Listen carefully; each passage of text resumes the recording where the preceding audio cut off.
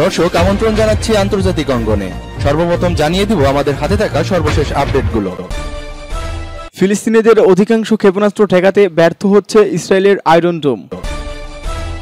আইয়াস দুশো পঞ্চাশ ক্ষেপণাস্ত্র ইসরায়েলের যে কোনো স্থানে আঘাত হানতে সক্ষম। লেবানন থেকে ইসরায়েল অভিমুখে ক্ষেপণাস্ত্র হামলা। ফিলিস্তিনিদের পক্ষে বিক্ষোভ সমাবেশ নিষিদ্ধ করেন পুলিশকে ফরাসি সরকার। দর্শক এখন জানিয়ে দিব বিস্তারিত। সম্প্রতি করোনা ভাইরাস পৃথিবীতে আল্লাহ তাল্লার গজব হিসেবে পাঠিয়েছেন। এই মুহূর্তে আমাদের সবার উচিত মহান আল্লাহর কাছে ক্ষমা চাওয়া এবং অশ্লীলতা থেকে বিরত থাকা। একমাত্র আল্লাহ ছাড়া এই প্রাণঘাতী করোনা ভাইরাস থেকে মানব জাতির মুক্তি পাওয়া সম্ভব নয়। আপনি কি এতে একমত? তাহলে ভিডিওতে লাইক দিন, কমেন্ট করুন এবং শেয়ার করে বিশ্ববাসীকে জানিয়ে দিন এই করোনা ভাইরাস সম্পর্কে আপনার মতামত। ফিলিস্তিনিদের অধিকাংশ ক্ষেপণাস্ত্র ঠেকাতে ব্যর্থ হচ্ছে ইসরায়েলের আয়রন ডোম।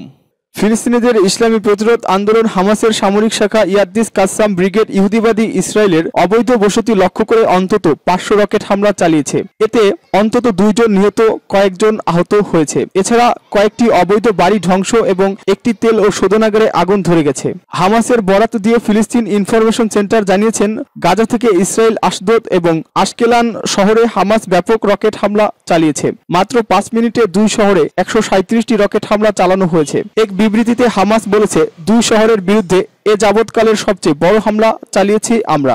ইসরায়েলি সেনাবাহিনী বলেছে, গাজা থেকে প্রায় পাঁচশো রকেট নিক্ষেপ করা হয়েছে। এর মধ্যে দুশো রকেটকে ঠকিয়ে দিয়েছে আয়রন ডোম প্রতিরক্ষা ব্যবস্থা।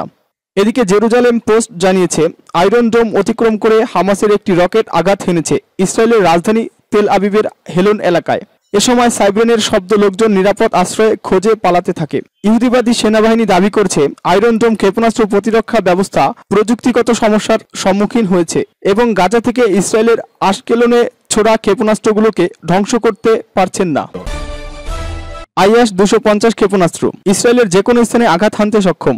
দখলদার ইসরায়েলের রামুনা বিমানবন্দরে আইএস দুশো পঞ্চাশ নামে মধ্যম পাল্লার ক্ষেপণাস্ত্র হামলা চালিয়েছে ফিলিস্তিনের ইসলামী প্রতিরোধ আন্দোলন হামাস। হামাসের সামরিক শাখা ইয়াদ্দিস ক্যাম্পাস ব্রিগেডিয়ার মুখপাত্র আবু ওবায়দা বলেছেন, আজ বৃহস্পতিবার ইসরায়েলের দক্ষিণাঞ্চলের রামুন বিমানবন্দরে মধ্যপল্লার ক্ষেপণাস্ত্র আইয়াস এর সাহায্যে হামলা চালানো হয়েছে।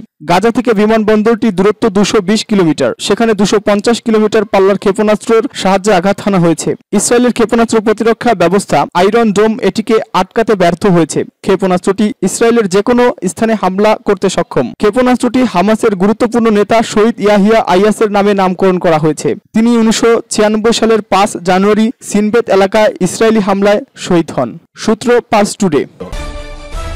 লেবানন থেকে ইসরায়েল অভিমুখে ক্ষেপণাস্ত্র হামলা। ইহুদিবাদী ইসরায়েলের উত্তরাঞ্চল লক্ষ্য করে লেবানন থেকে তিনটি রকেট ছোড়া হয়েছে, তবে এসব রকেট ভূমধ্যসাগরে গিয়ে পড়েছে বলে দাবি করেছে ইসরায়েলের সামরিক বাহিনী। ফলে ইসরায়েলের ভেতরে কোনো হতাহত বা ক্ষয়ক্ষতি ঘটনা ঘটেনি। ইসরায়েলের সামরিক বাহিনীর বরাত দিয়ে টাইমস অফ ইসরায়েল পত্রিকা সহ বিভিন্ন আন্তর্জাতিক গণমাধ্যমে এ খবর ছড়িয়ে পড়েছে।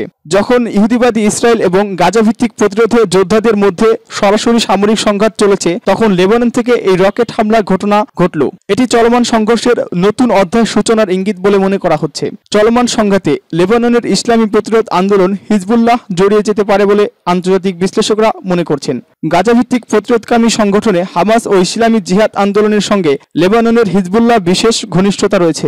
ইসরায়েলের সঙ্গে দুই ও দুই সালে হিজবুল্লাহর বড় রকমের যুদ্ধের অভিজ্ঞতা রয়েছে, যার কারণে দক্ষিণ লেবানন থেকে ইসরায়েলি সেনারা পালাতে বাধ্য হয়েছে। এদিকে লেবানন থেকে ইসরায়েলি অভিমুখে রকেট ছোড়ার আগে ইরাকের আন নুজাবা আন্দোলনে মহাসচিব শেখ আকরাম আল কাবি গাজার প্রতিরোধকামী সংগঠনের নেতাদের সঙ্গে সাক্ষাৎ করেছেন। তিনি এ সময় তার সংগঠনের পক্ষ থেকে সহযোগিতা করার প্রতিশ্রুতি দেন। শেখ আকরাম ইসরায়েলকে সতর্ক করে বলেছেন, তার যোদ্ধাদের হাতে এমন সব অস্ত্র রয়েছে যা ইসরায়েলের গভীরে আঘাত হানতে পারে। ফিলিস্তিনিদের পক্ষে বিক্ষোভ সমাবেশ নিষিদ্ধ করুন, পুলিশকে বলেছেন ফরাসি সরকার। ফ্রান্সের স্বরাষ্ট্র মন্ত্রণালয় সে দেশের পুলিশ কর্তৃপক্ষকে ফিলিস্তিনিদের পক্ষে রাজধানী প্যারিসে বিক্ষোভ সমাবেশ নিষিদ্ধ করার আহ্বান জানিয়েছেন। চলতি সপ্তাহের শেষ দিকে এই বিক্ষোভ সমাবেশ অনুষ্ঠানের কথা রয়েছে।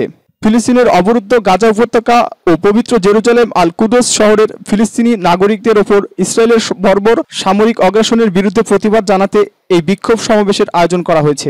সমাবেশ নিষিদ্ধ করার বিষয়টি নিশ্চিত করে ফ্রান্সের স্বরাষ্ট্রমন্ত্রী জেরাল্ড ডারমানিয়াম এক টুইটার পোস্টে বলেছেন, আমি প্যারিসের পুলিশ প্রধানকে শনিবারে বিক্ষোভ সমাবেশ নিষিদ্ধ করার কথা বলেছি। দুই সালে এ ধরনের বিক্ষোভের কারণে মারাত্মক জনবিশৃঙ্খলা দেখা দিয়েছিল বলে তিনি মন্তব্য করেন। ফরাসি স্বরাষ্ট্র মন্ত্রী বলেন, সবকিছু ঠিকঠাক মতো যাতে হয় সেজন্য প্রয়োজনীয় নির্দেশনা দেওয়া হয়েছে। মানবাধিকার কর্মীরা প্যারিসের উত্তরাঞ্চলে বারবেস এলাকায় আগামীকালের বিক্ষোভ সমাবেশের ডাক দিয়েছেন। অবরুদ্ধ গাজা উপত্যকার ওপর ইসমাইল যে বিমান হামলা চালাচ্ছে, তার প্রতিবাদ জানাতে এই কর্মসূচির আয়োজন করা হয়েছে।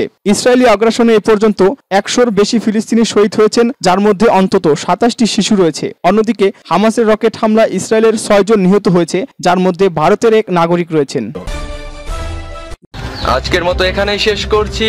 সবার আগে সর্বশেষ সংবাদ জানতে আমাদের চ্যানেলটি এখনই সাবস্ক্রাইব করে রাখুন। ধন্যবাদ এতক্ষণ সাথে থাকার জন্য।